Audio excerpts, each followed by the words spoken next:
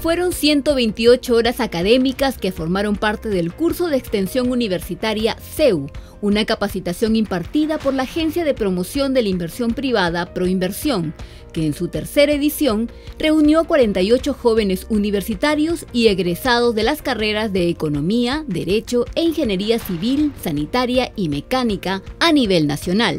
Es una estrategia diseñada por Proinversión que tiene una doble finalidad difundir la materia de asociaciones público-privadas. Es una forma que hemos encontrado para reclutar jóvenes valores a nuestra entidad.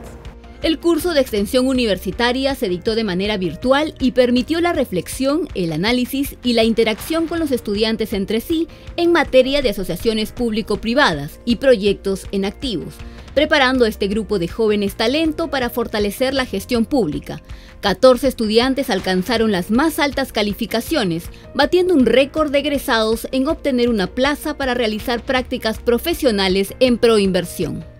En la universidad se suelen ver temas de estructuración económica financiera o de cómo se maneja el sector público. En Proinversión he podido aprender la aplicación de todos estos conceptos y cómo es que al final devienen en mejora para nuestro país. El hecho de poder tener acercamiento a economistas que son además muy comprometidos con el servicio público en el país y ingenieros que están como bastante capacitados en los temas técnicos que necesita Proinversión, me da una perspectiva más amplia de lo que puedo hacer en la sociedad. Yo creo que con el curso he reafirmado un poco mis ganas de seguir aprendiendo sobre APPs, de poder especializarme. Me he dado cuenta que es un campo que se puede aplicar no solamente aquí en el Perú, sino en diferentes partes del mundo y creo que es una buena herramienta para seguir creciendo. El 76% de los participantes provino de universidades públicas y el 24% de universidades privadas, tanto de Lima como de provincia.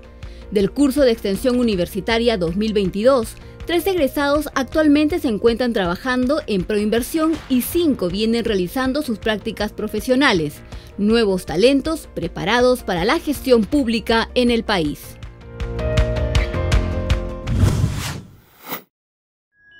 Bicentenario del Perú 2024. Gobierno del Perú.